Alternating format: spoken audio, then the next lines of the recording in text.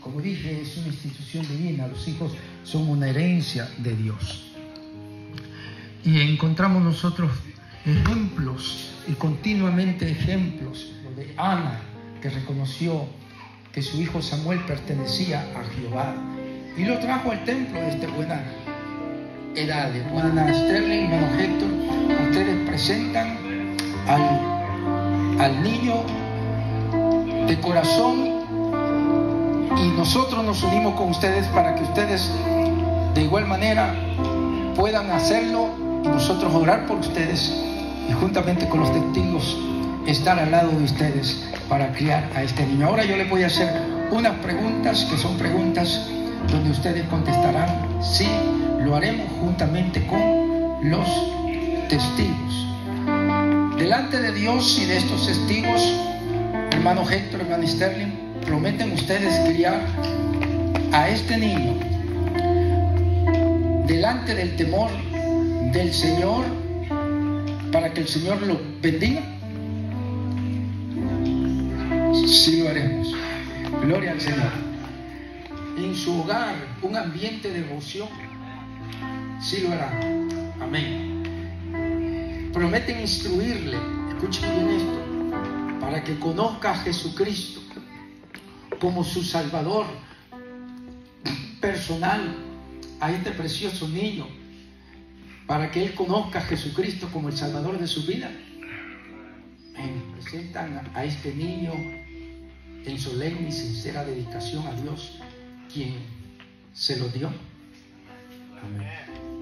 Recuerden que el Señor se lo dio, hermano Héctor. Uno dice, yo fui el que lo hice. No. El Señor, es mejor que digan, el Señor nos lo dio es regalo de Dios. Amén.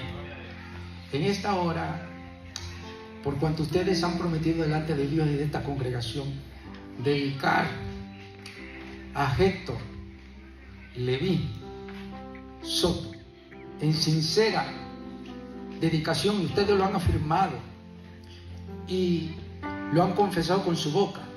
Yo como el pastor les aconsejo que se congreguen, que se consagren y dediquen y se dediquen a esta sagrada obligación con sabiduría, con perseverancia y con santa devoción.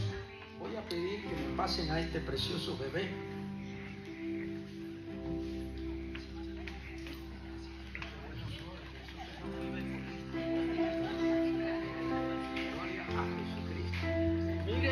Precioso regalo, hermano. Gloria al Señor. Pero ahora sí puedo cargar a este precioso bebé. Amén. Ahora sí les invito a estar de pie, si son muy amables. Y en esta hora yo dedico, yo dedico al Padre, yo dedico al Hijo, yo dedico al Espíritu Santo a Héctor Leví Soto. Para la gloria y la honra del nombre del Señor te dedicamos a ti para que lo reciba Dios Padre y lo bendigas a Él, a sus padres y a todos los que estén a su alrededor. Padre, te pido que lo guardes, lo cuides y lo bendigas, Señor, en su crecimiento. Aleja las enfermedades de su cuerpo y da sabiduría, Señor, para que Héctor Leví crezca amándote y sirviendo. Y yo confieso desde ya en esta criatura un siervo de Dios, un ministro de Dios, un adorador de Dios,